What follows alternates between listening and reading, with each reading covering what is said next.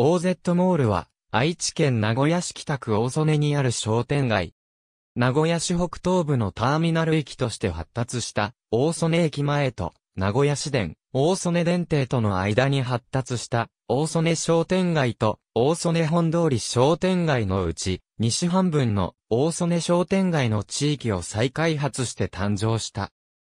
三角屋根の3階建てで統一された建物、オズの魔法使いをモチーフとするオブジェ、大曽根地区総合整備事業の一つとして、大曽根土地区画整理事業による道路拡張を含む区画整理に合わせて、大規模なビルに建て替えるのではなく、地区内にある既存の建物をすべて一斉に取り壊し、建築協定で決めた三角屋根の3階建てで統一された建物を各店舗が一斉に新築し直すという珍しい形式で行われた都市再開発事業である。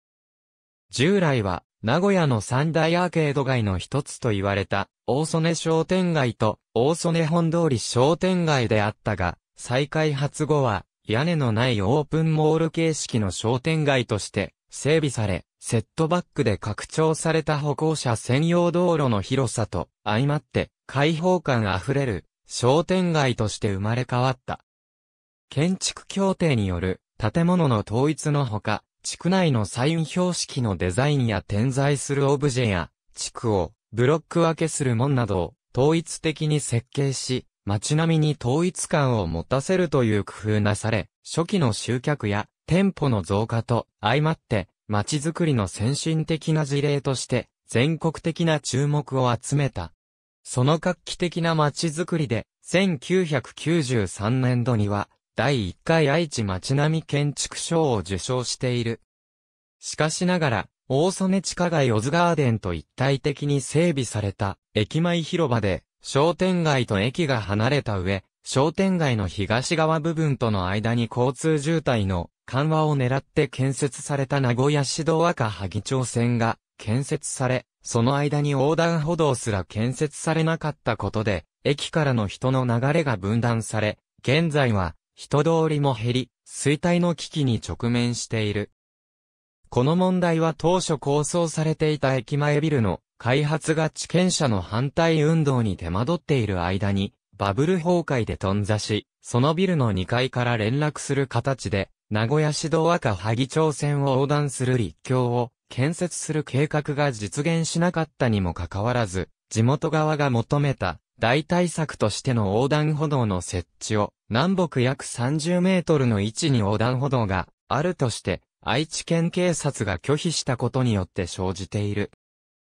こうした再開発の失敗に伴う衰退については2007年12月15日付の中日新聞が大曽根の商店街再開発から1年整備裏目、人通り遮るというタイトルの記事で批判しているほか、名古屋市歴史町づくり戦略に対する市民意見、及び本市の考え方でも、一般市民から、大曽根の OZ モールは、車の通り抜ける新しい道路で駅前から遮断され、完全に孤立してしまって、見るも、無残に衰退してしまっている。と批判されている。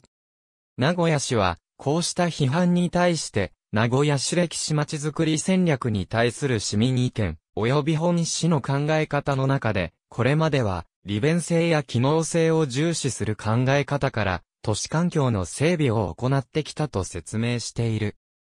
商店街活性化のために、かつては、富山県と提携した、チューリップフェスタ、終わり藩の元部家たちが開拓した名古屋と縁のある、北海道八雲町と提携した、物産展、北海道八雲町物産フェア等を開催してきたが、現在は、夏の七夕祭りや秋の名古屋ジャズストリートなどを開催して集客に努めている。